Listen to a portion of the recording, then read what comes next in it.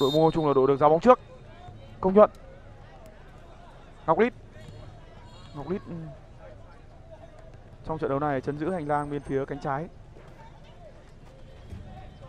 Kéo sát ngọc lít là cường kem. Vậy không phải quang thái mà là trung vệ dũng vang, ngọc lít rút ngay về phía cung thành có vẻ như bóng vừa rồi đã trúng vào cánh tay của cường cun chúng ta cùng xem lại pha sút này về phía cung thành thủ môn anh tuấn. Hai cú sút liên tiếp. Đáy biên vẫn luôn là sở trường của đội của đội bóng thanh đồng sút xa, không vào. Ngọc lít. Một không cho cầu thủ đội môn quang trung. Và sút bóng rất mạnh của ngọc lít.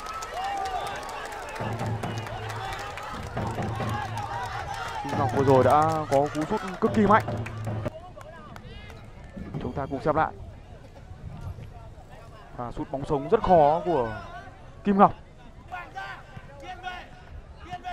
Các cầu thủ kỳ cựu của thanh đồng đều người chỉ đạo bên phía đội thanh đồng là thắng sa vi còn người ngồi sau là ông xuân thành. Rất nhịp nhàng bán ý, rất khỏe. Nam tít căng ngang không được. Đây là đội trưởng hùng con bên phía đội môn quang trung. Sút xa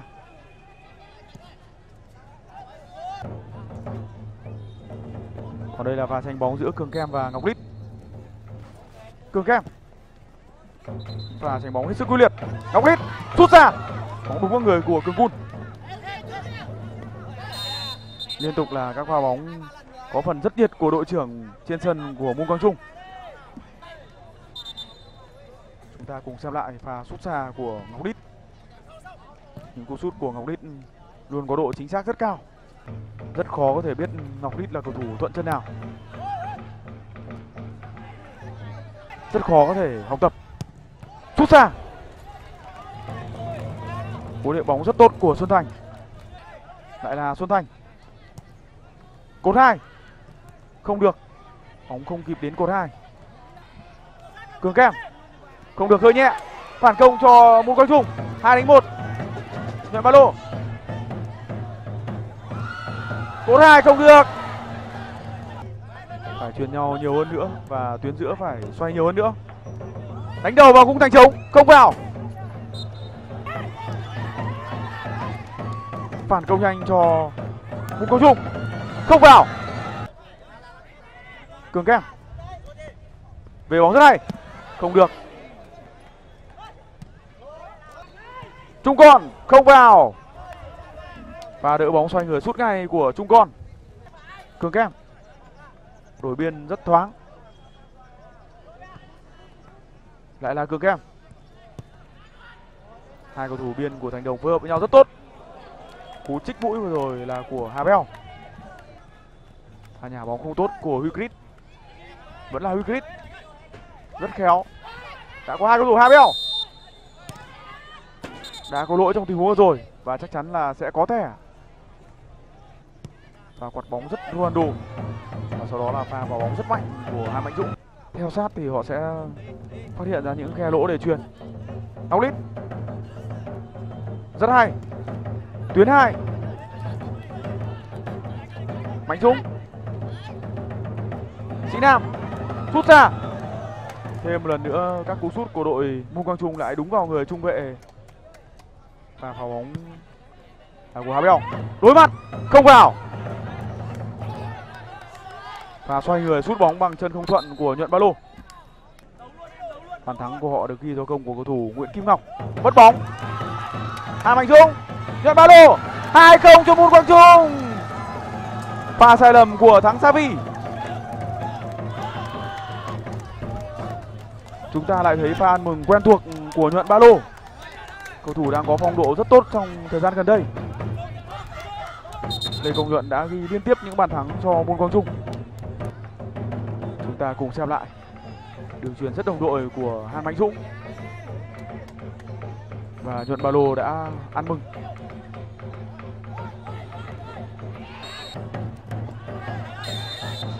Và phạm lỗi của Xuân Thành.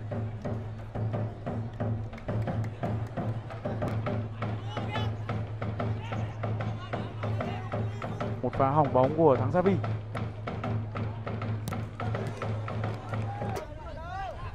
Nếu như thắng trận này thì đội môn Quang Trung sẽ có được 15 điểm. Họ sẽ hơn một điểm so với đội bóng HN Một pha bắt vô lê của Ngọc Lít. Một pha ném bóng rất mạnh. Công luận không chế rất hay.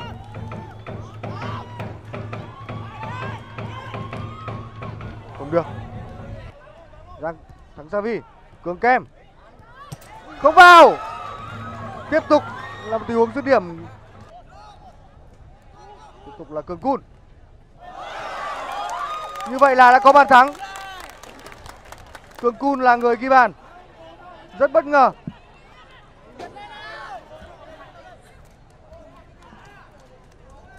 Ngọc Lít là quá nguy hiểm. Chúng ta cùng xem lại rõ hơn.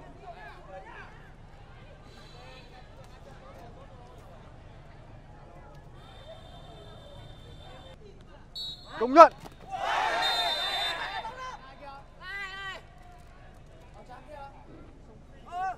Như vậy, trọng tài dành tặng cho Thành Tuyên Quang một chiếc thẻ vàng. Hàn Mạnh Dũng. Đá Percy Không vào. Nếu như đó là một bàn thắng, có lẽ sẽ là rất hoàn hảo cho sáng Percy Ở thứ chạm bóng đầu tiên. Một pha bóng rất hay và một cú quăng chân quá đẹp. Cái thiếu chỉ là một chút may mắn để đưa bóng vào gôn mà thôi. Chúng ta cùng xem lại tình huống này. Hàn Mạnh Dũng đã có một pha quan sát rất hay. Thắng Savi Giang say. Không vào.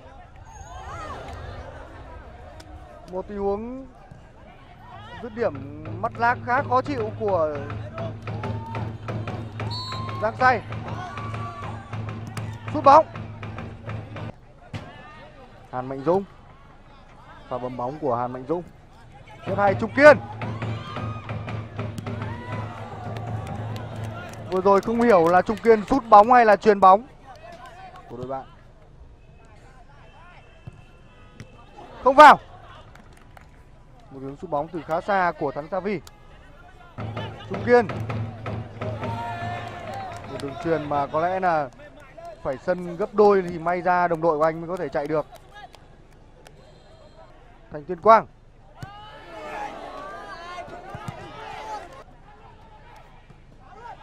Quang Vũ không vào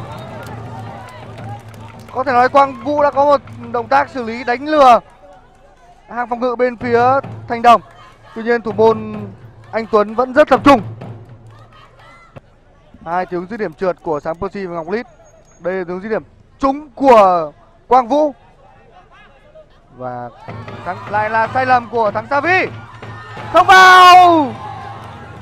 Lẽ ra Sáng Percy phải trừng phạt sai lầm của đàn anh mình trong tiếng vừa rồi. Chúng ta cùng xem lại tình huống này. Thắng Savi đã rất chủ quan. Có lẽ thắng Savi đã rất chậm chạp khi đối mặt với sáng Percy. Thì thêm một tình huống mà Bẹt đã sai lầm. Ngọc Lít không vào.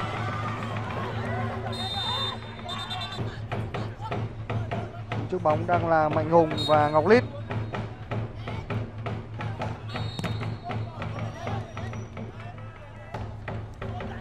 Quốc Bảo Hết giờ Như vậy, cao thủ Môn Quang Trung đã giành chiến thắng suýt sao 2-1 trước Thanh Đồng